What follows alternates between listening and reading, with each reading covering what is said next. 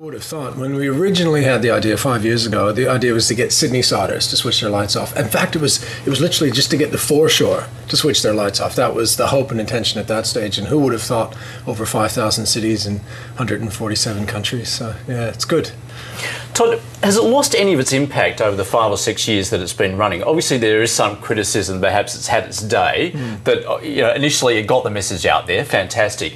But now, in fact, uh, if we look globally, perhaps there's some fatigue as far as climate change is concerned. It's it's an interesting debate, and first of all, I think the skepticism is a good thing because you know science had told us we'd be in an ice age right now. But I think the skepticism is really good. The issue has been in Australia. Ironically, this is an Australian idea created in Sydney, and the issue really has been the growth in this country. It's grown year on year, but the massive growth is globally it has taken off globally. It's the opposite of that. In fact, it's got a lot of traction because people around the world want to participate. They want to at least be a part of doing something good for the environment. But does that just come down to the feel good factor? They switch off the light thinking, well, I'm doing something for the planet?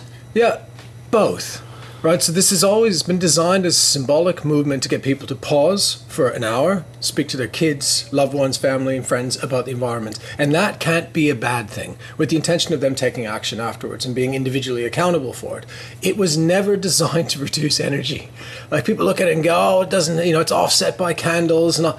It, that was never the intent. The original idea was designed to get moms, dads, kids, families, loved ones to stop once a year for an hour to pause and think about how they could live a more sustainable or better life for the environment. And even Andrew Bolt would agree that that's a good idea.